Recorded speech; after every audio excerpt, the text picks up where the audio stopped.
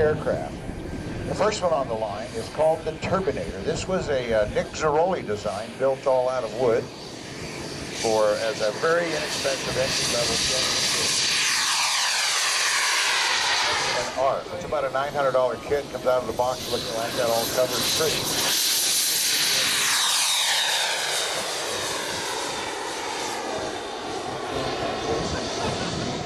Okay,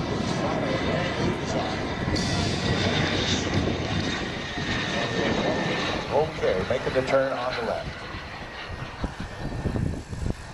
Great photo opportunity for you, both aircraft. Nice, both.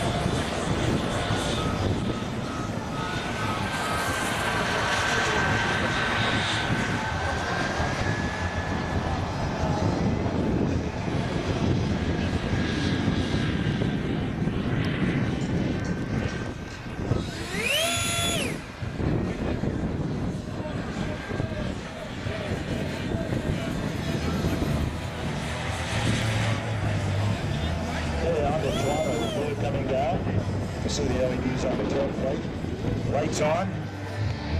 The Toronto is a 96-inch wingspan aircraft powered by the P-160SX JetCat turbine. This aircraft is uh, ready to go. They've got them in the booth. They are shipping now. That's about a $5,000 airplane with the gear, tailpipe, and